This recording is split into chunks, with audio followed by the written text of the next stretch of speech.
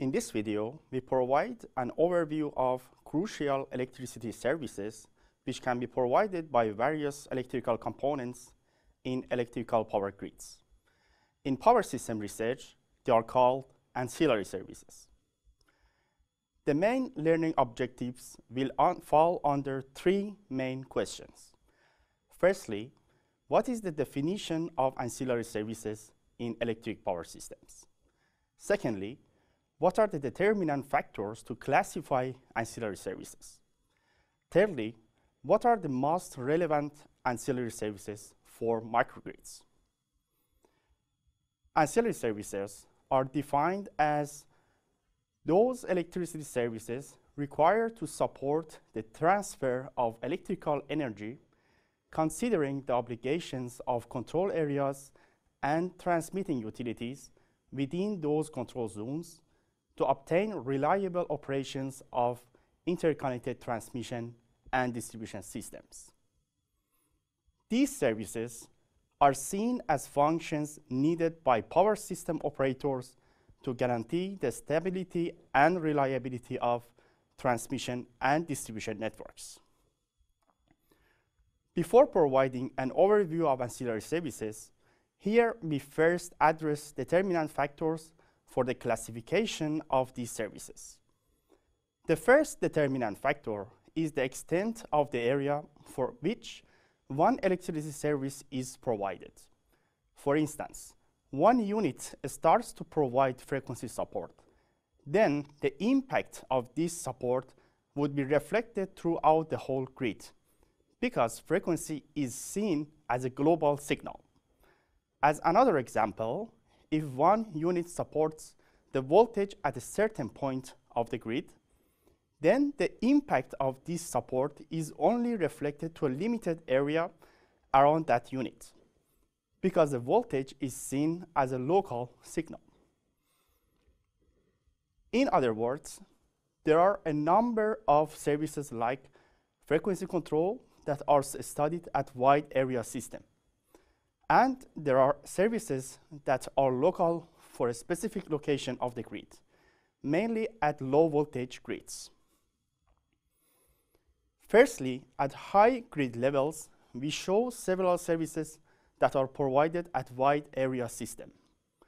The, the, most commonly known global service is frequency control, which is in general divided into primary, secondary, and tertiary control. These three control levels are based on the time scale of the provision of frequency support that we will introduce and discuss them in the next slides. Besides, following a wide area blackout, a black start procedure is to be implemented and followed. Other global services are, for instance, emulated inertia and energy arbitrage. Secondly, at lower grid levels, ancillary services are generally considered as local. The voltage is an example of a local signal, and voltage phenomena are local voltage management, transient voltage, unbalanced voltage, and harmonics. Also, within the context of microgrids, islanded operation and emergency backup are provided for a small grid area. Moreover, not only a microgrid is to operate in an islanded mode for a certain amount of time, but also it should be able to ensure safe transition from grid-connected to islanded modes and vice versa. The safe transfer from grid-connected to islanded mode is here called islanding process. Another location-specific issue which can occur at both transmission or distribution grid is the congestion of the electrical lines, which we'll also introduce below. Another determinant factor is the time scale for which the service is provided. In this video, we classify ancillary services for a wide range of time scales, which are from very short, uh, from for uh, milliseconds to few hundreds of milliseconds, short term from one second up to several minutes, medium term from several minutes up to one hour, and finally long term from hours to several years. One example of services for very short term is the harmonics of voltage and current that are injected by STVCU loads and electronically interfaced units. These harmonics are relative to the fundamental component, which is typically 50 Hertz. Another typical example is transient stability, which refers to the capability of a system to maintain synchronous operation following a fault, which can be, for instance, the connection of one phase or three phases to the ground. Within a short time, like several seconds, the units with rotating mass can provide inertial support, which releases the kinetic energy stored in the shaft of the unit. Though the electronically interface units do not have any rotating mass, they can provide the inertial support by emulating the behavior of the rotor. Another short-term service within the context of microgrids is islanding and black start. Note that in traditional power systems, the black start may take up to several hours. However, in microgrids, it can be conducted fast within a much shorter time periods, even within several seconds.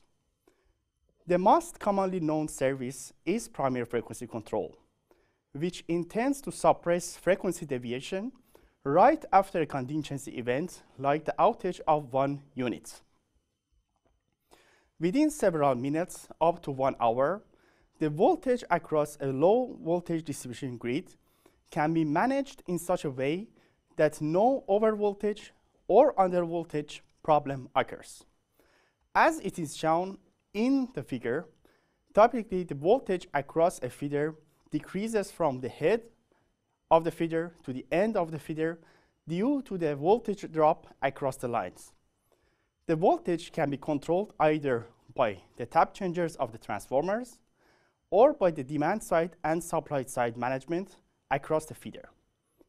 Another medium-term example is secondary frequency control that is also known as load frequency control or automatic generation control of interconnected power systems.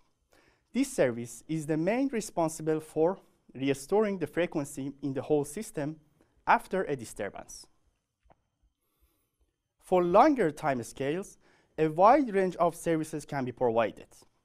Energy arbitrage, which is defined as storing the energy when electricity prices are low, and then selling energy when energy prices are high.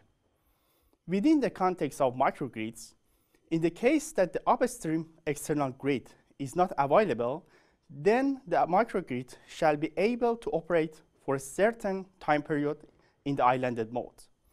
Also, the microgrid shall be able to safely transfer from grid connected to islanded mode and vice versa. Another example of long-term services is tertiary frequency control, which is manually activated to replace the secondary control reserves over periods ranging from minutes to hours. Finally, congestion management is one of the strategic functions of the system operators to always ensure that the operating limits of distribution and transmission systems are not exceeded. Note that in practice, the current of lines shall not exceed a certain level, which depends on the stability and thermal limits of these lines. To avoid this, congestion management schemes are implemented to keep the flow of line currents within certain limits. Note that the operating mode of microgrids is another determinant factor based on which ancillary services can be classified. During the grid-connected mode, some ancillary services like frequency support can be provided by the grid. However, during the islanded operation of a microgrid, typically a wider range of ancillary services shall be simultaneously addressed. During the next videos, we address ancillary services in, grid, in microgrids for both grid-connected and islanded operating modes. Well, in this video, we defined and then gave a good overview of ancillary services in microgrids. Two important determinant factors for the classification of microgrids were discussed that are the location extent and time scale of these ancillary services. While some services like frequency control is related to wide area system, others like voltage profiles are more local. We also emphasize that the operating mode of microgrids is another determinant factor, which will be discussed in detail later.